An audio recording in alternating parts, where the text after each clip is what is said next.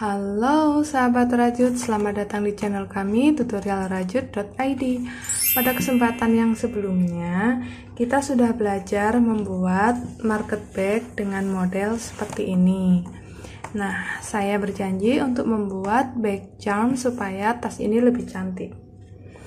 Bag charm yang akan kita buat modelnya seperti ini. Bunga daisy 3 dimensi. Kita bisa pasangkan di sini.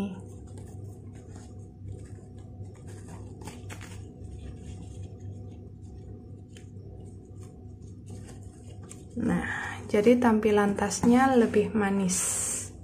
Nah, di video tutorial ini saya buat bunga daisy-nya ini ada 6 kelopak. Kalau sebelumnya saya pernah mencoba 5 kelopak, hasilnya seperti ini.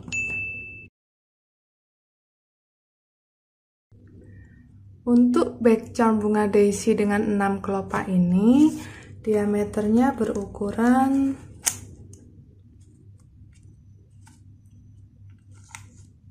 kurang lebih 10 cm.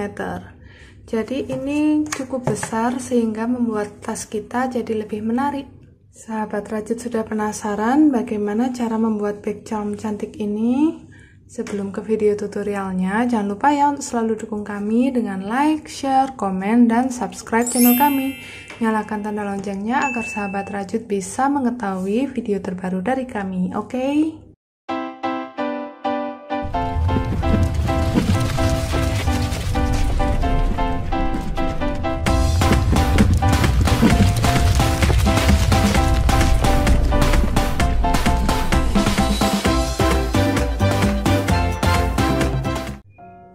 Kita siapkan dulu alat dan bahan yang dibutuhkan untuk membuat bag charm ini.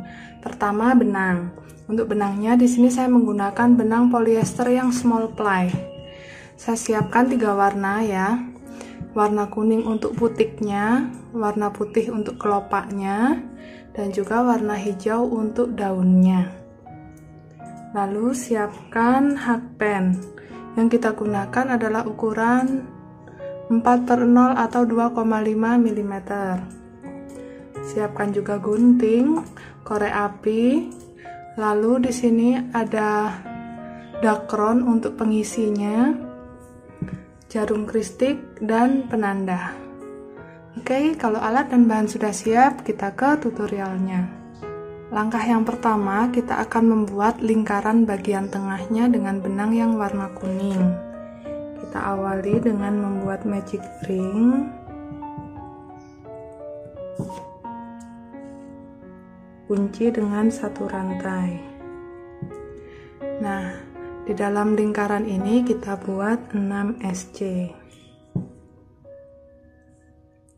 satu kita pasang penanda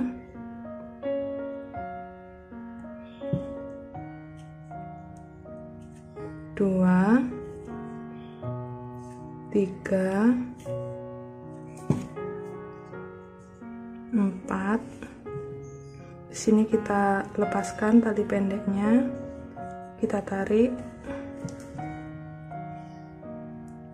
Tambahkan 2 SC lagi. 5 6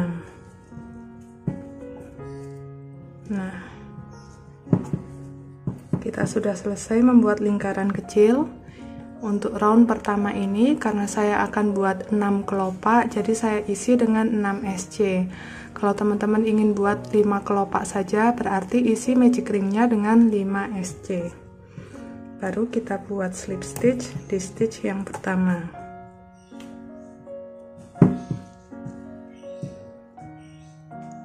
Kita lanjut mengerjakan round yang kedua kita awali dengan satu rantai dulu lalu buat 2 SC di lubang yang sama. Satu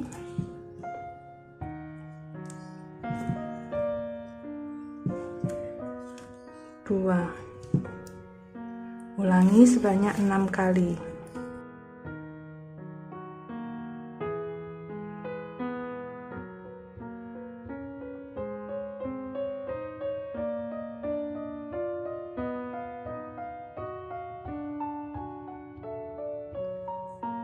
yang kedua sudah selesai dengan total 12 SC.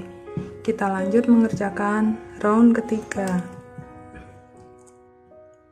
Buat slip stitch di stitch yang pertama, lalu satu rantai.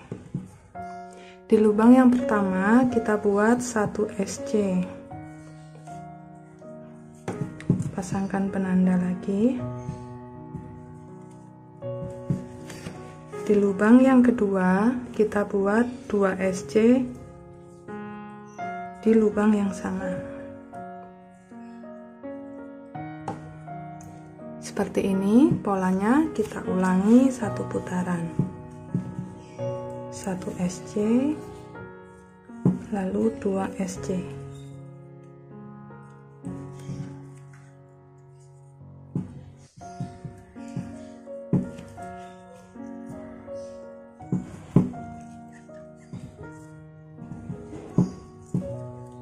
Round yang ketiga sudah selesai dengan total 18 SC. Kita akhiri dengan slip stitch di stitch yang pertama. Lalu potong dan rapikan sisa benangnya. Oke, lingkaran kuning untuk bagian putiknya udah selesai, hasilnya seperti ini. Selanjutnya kita akan membuat bagian kelopak.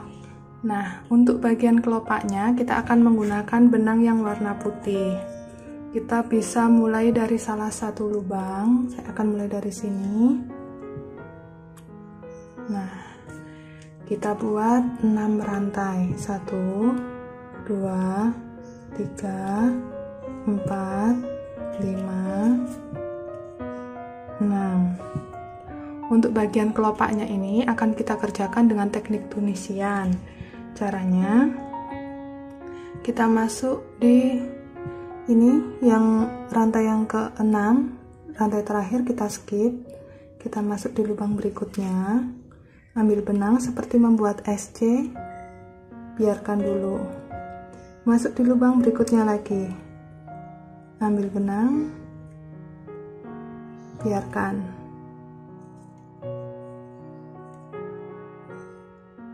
Tiga. Empat 5 dan yang terakhir kita masuk di lubang awal tadi. 6 setelah 6 kali pengambilan benang kita punya 7 serat. Selanjutnya ambil benang lagi. Kita masuk di dua serat dulu. Ambil benang masuk di dua serat kita lanjutkan. 3 4 5 6 Oke hasilnya seperti ini. Selanjutnya kita lakukan cara yang sama seperti tadi tapi kita masuknya di serat yang ini. Serat yang berdiri ini ya masuk ambil benang kita biarkan dulu. Satu dua tiga empat lima. Lalu di sini serat SC 6 masuk di lubang yang sama lagi. 7 setelah 7 kali pengambilan benang kita punya 1 2 3 4 ada 8 serat. Lalu kita masuk 2 serat 2 serat lagi. 1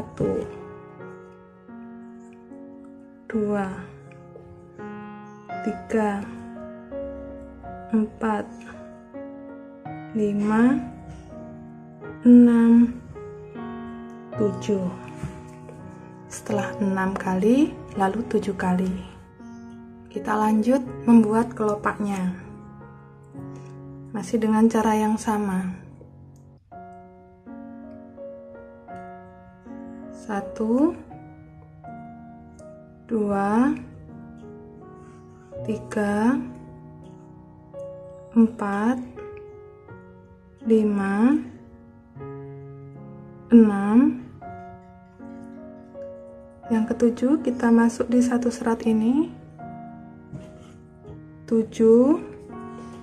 Yang kedelapan kita masuk di lubang berikutnya. Ini yang tadi kita isi kita masuk di berikutnya. Ini ekor benangnya kita ikutkan seperti ini. 8 setelah 8 kali pengambilan benang kita punya 9 serat. Kita masukkan dua-dua. 1 2 3 4 5 6 7 8 Oke jadi ini tadi yang pertama ada 6 7 8 Oke sekarang kita kerjakan set yang keempat ya. Nah kita buat 8 kali lagi. Jadi di sini serat yang pertama kita skip. Kita masuk di lubang berikutnya. Satu dua tiga empat lima enam tujuh. Masih masuk di lubang yang sama. Delapan. 8 kali pengambilan benang dan ada 9 serat. Kita masukkan lagi dua-dua. 1 2 3 4 5 6 7 8 kita lanjut. Kita skip satu. Masuk di yang kedua. Satu. Dua.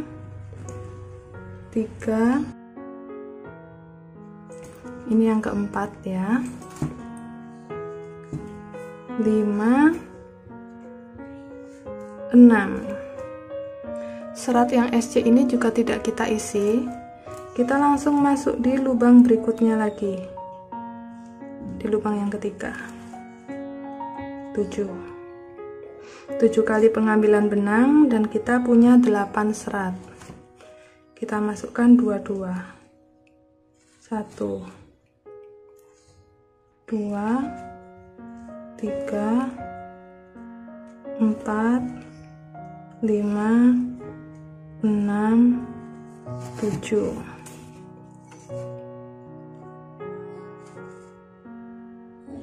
skip satu. Satu. Dua tiga empat lima.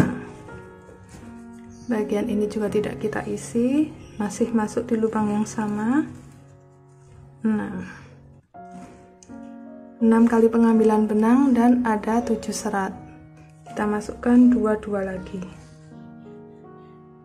Satu dua tiga empat lima enam nah jadi untuk setiap kelopak hitungannya adalah 6 7 8 8 7 6 Terakhir kita buat slip stitch turun ke sini.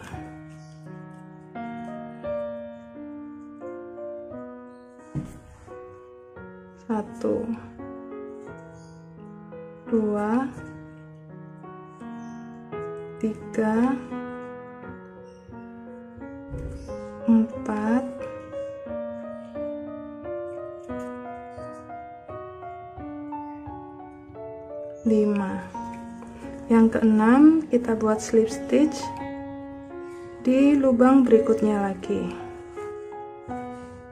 Nah sudah jadi satu kelopak hasilnya seperti ini.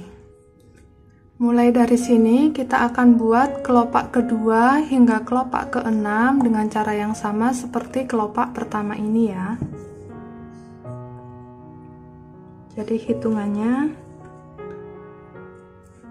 adalah 6 7 8 8 7 6 1 2 3 4 5 6 diawali dengan 6 rantai dan diakhiri dengan 6 slip stitch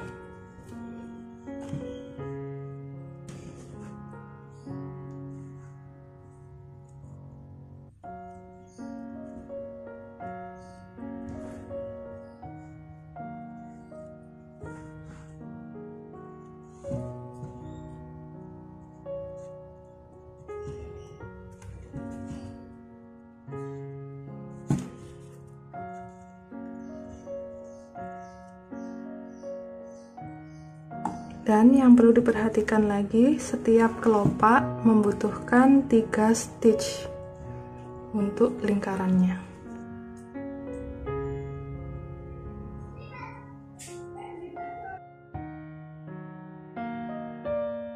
Saya sudah selesai membuat 6 kelopak dan hasilnya seperti ini. Terakhir kita bisa potong dan rapikan sisa benangnya Oke, saya sudah selesai potong dan rapikan sisa benangnya. Kita buat yang sama seperti ini satu lagi ya. Oke, di sini saya sudah punya dua dan yang kedua ini kita potong benangnya agak panjang ya karena akan kita gunakan untuk menjahit. Seperti ini kita akan jahit dengan bantuan jarum kristik.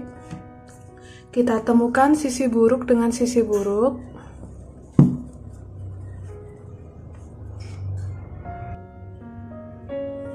Oke, bagian yang ini. Lalu kita jahit kelopaknya kita gabungkan.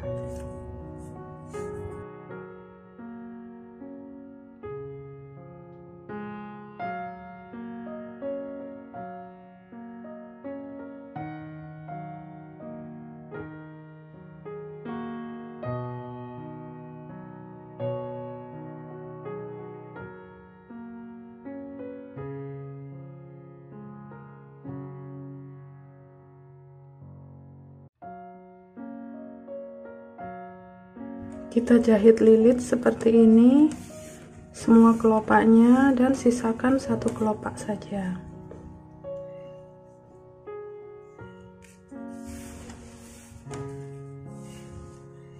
Saya sudah selesai menjahit kelima kelopaknya hasilnya seperti ini dan di sini tersisa satu kelopak terakhir yang belum dijahit. Melalui lubang ini kita isikan dakronnya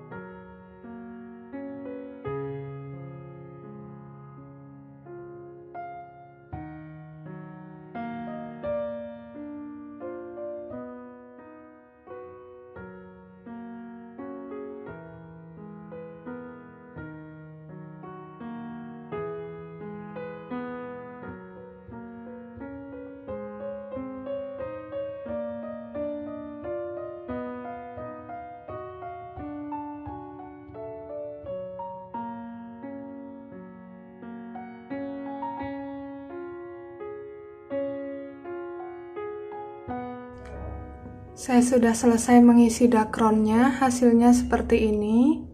Terakhir kita tinggal jahit kelopak yang terakhir dan isi dakron juga. Kalau sudah jadi seperti ini, kita tinggal selip-selipkan sisa benangnya, lalu kita potong dan rapikan.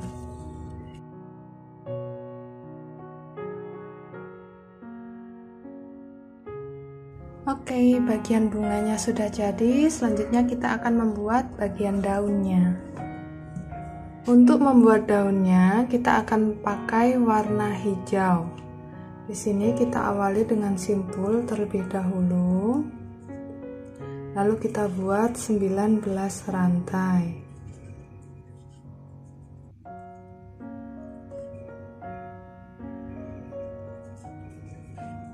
Kalau sudah membuat 19 rantai, selanjutnya kita skip rantai yang pertama ini kita masuk di lubang yang kedua. Kita buat satu SC selanjutnya buat satu HDC di dua lubang. Satu dua. Lanjut buat satu DC di tiga lubang. Satu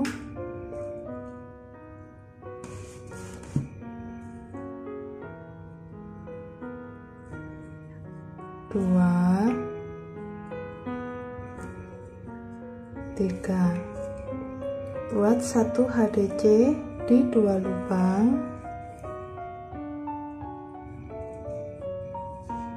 Lalu buat satu SC di lubang berikutnya. Nah polanya seperti ini kita ulangi. Satu SC 2 HDC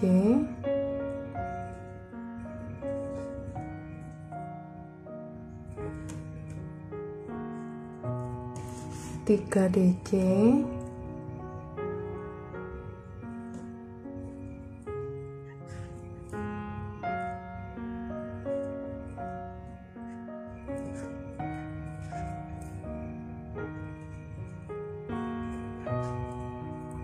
dua HDC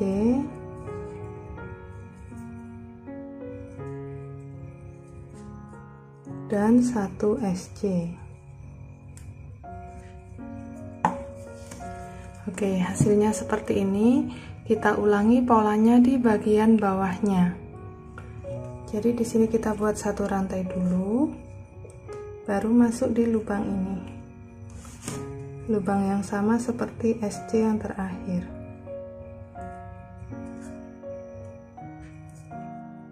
Kita ulangi polanya hingga ujung ya. Oke, kalau sudah seperti ini hasilnya, kita buat satu rantai dan slip stitch di stitch pertama. Lalu kita bisa potong dan rapikan sisa benangnya. Oke, ini untuk daun yang pertama sudah selesai. Selanjutnya kita akan buat daun yang kedua.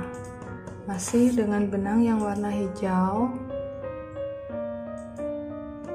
Kita awali dengan simpul. Lalu buat 10 rantai.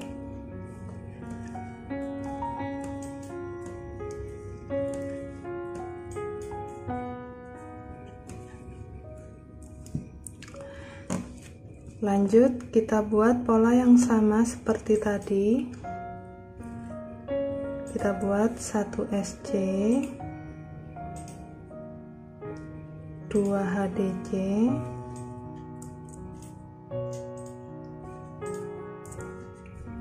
lalu 3 DC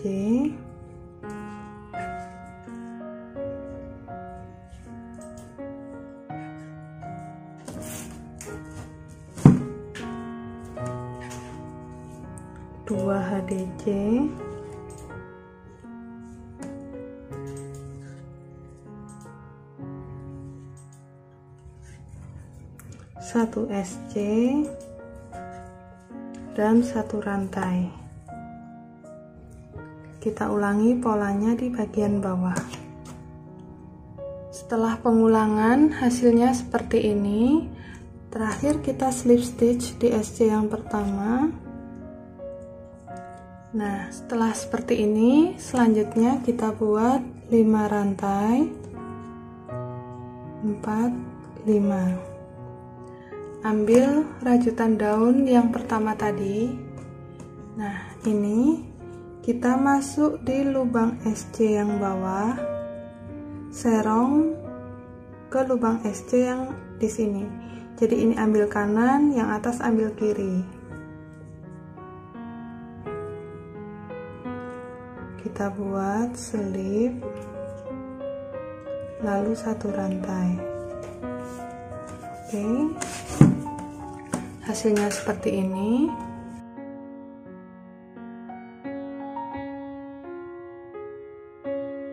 selanjutnya kita tambahkan sejumlah rantai hingga panjang yang dibutuhkan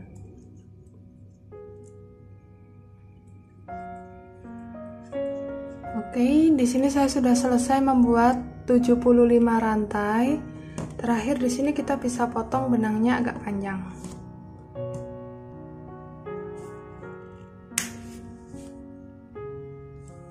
Lalu kita tarik. Oke, untuk langkah selanjutnya kita akan pasangkan rajutan daun ini ke bunganya. Caranya ini rantainya kita lipat dulu seperti ini. Lalu kita menggunakan bantuan hakpen. Sini saya akan pasangkan di pas bagian ininya ya. Jadi bukan di bagian kelopaknya tapi di antara kelopak.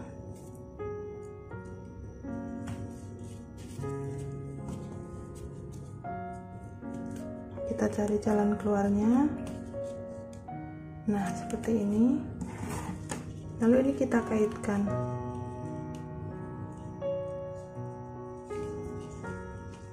Kita bawa naik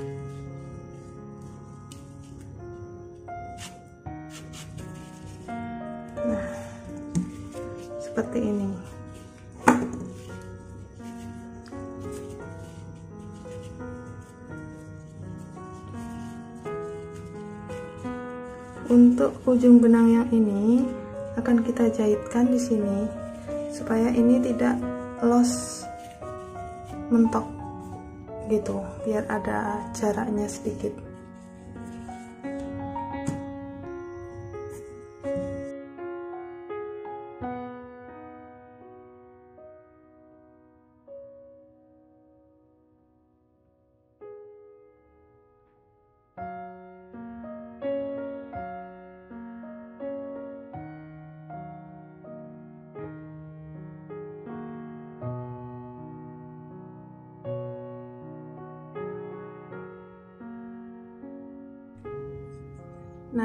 ujungnya ini sudah selesai dijahit. Lalu kita atur posisi panjang yang diinginkan untuk juntaiannya ini. Di bagian atas ini kita simpul.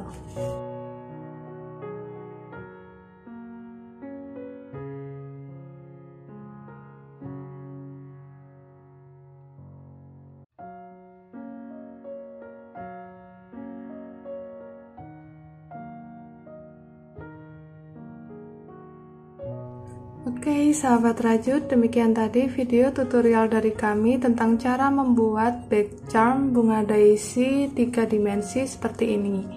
Semoga video tutorial ini mudah diikuti dan bermanfaat untuk sahabat rajut semua ya. Sampai bertemu lagi di video tutorial kami berikutnya. See you, bye